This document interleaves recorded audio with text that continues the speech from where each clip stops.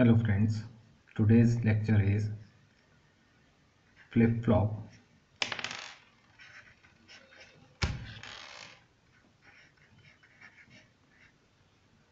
with preset and clear pins. Now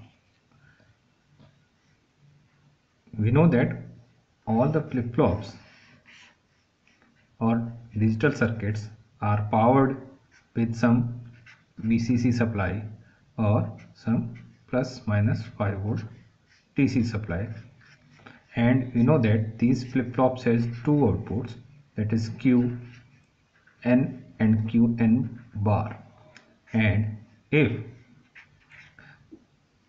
this flip-flop is powered on with power supply 5 volt or the required power supply. Then this Qn may either go to 1 or 0 because there may be possibility that the out, output either have final stable state as as 1 or as 0 it means it is undeterministic that we cannot predict our output that what output we will get when we switch on the power. Okay. So to set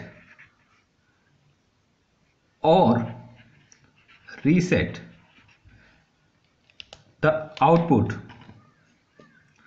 this output at 1 set means 1 or reset to 0 that is we know that that we need an an initial condition 1 or 0 at the output when after getting on. And it is our requirement to either it clear or preset. Preset means we requires its output as 1 and clear means we requires it output as 0 so we add another pin to this flip-flop D flip-flop that is